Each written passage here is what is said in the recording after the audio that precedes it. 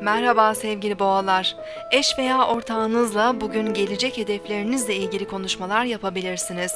Duygu ve düşüncelerinizi anlamanız bugün daha kolay olabilir. Karşılıklı anlayış iletişiminizi daha açık hale getirecektir.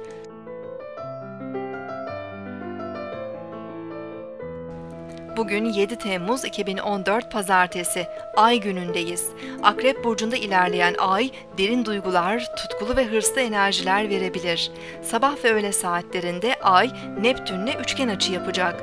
Sezgilerimiz güçlenirken ruhsal ve manevi konulara daha fazla yönelebiliriz.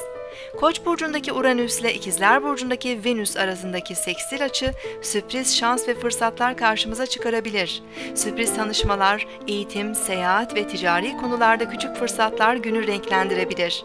Akşam ve gece saatlerinde Ay Satürn'le kavuşup Güneş'le üçgen açı yapacak. Duygularımız ciddileşirken güvenli ve istikrarlı davranışlarda bulunabiliriz.